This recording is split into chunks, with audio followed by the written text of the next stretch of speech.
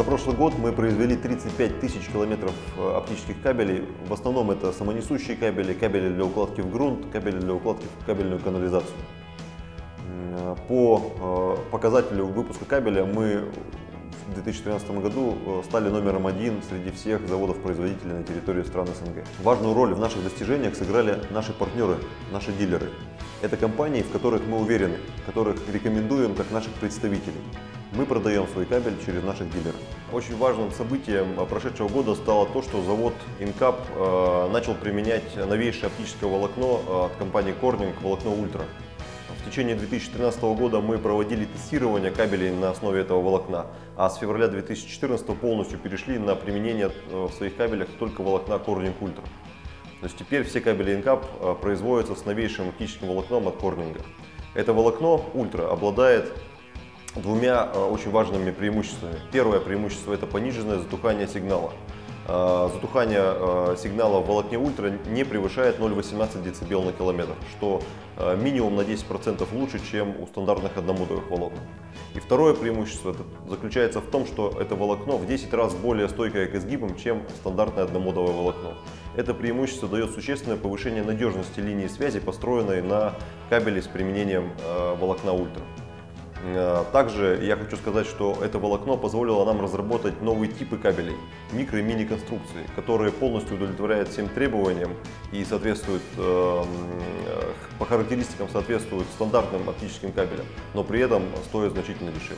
Хочется отметить, что завод Инкап обладает самой широкой линейкой конструкции оптического кабеля в России. Из 41 конструкции 23 являются легкими, суперлегкими или микроконструкциями. Мы понимаем, что э, заказчики э, ищут оптимального решения своих задач.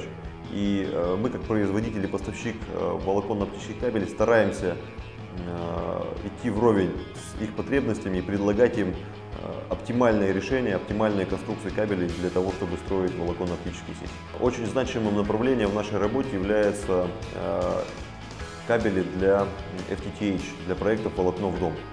А В 2012 году мы первые в России запустили производство многоволоконных вертикальных кабелей со свободным доступом к волокну, так называемых райзеров. А в 2013 году мы расширили линейку FTTH кабелей и внедрили э, в производство кабели для подключения коттеджных поселков, для подключения инди- индивидуальных домов, так называемый дроп кабель. Мы видим, что э, интерес операторов все больше и больше с многоквартирных домов, с крупных городов смещается на э, индивидуальное строительство, на коттеджные поселки, на индивидуальные дома. И э, специально под эти задачи разработали полную линейку кабелей, как для магистрального сегмента, так э, и для разводки по поселку и до доведения волокна до абонента. То есть Инкап предлагает все типы кабелей, которые необходимы для строительства сети под ключ. Я хочу подробнее сказать о нашей новой разработке, о э, дроп кабеле бабочка на 400 ньютонов. Это кабель, э, который применяется при подвеске до 50 метров. Он не горючий, э, его можно вводить прямо в здание. Он очень быстро и легко разделывается, то есть время на подключение абонентов сокращается. И он работает при температурах от минус 60 до плюс 70. Это уникальные характеристики для дроп кабелей и Инкап предлагает эти кабели уже сейчас к поставке.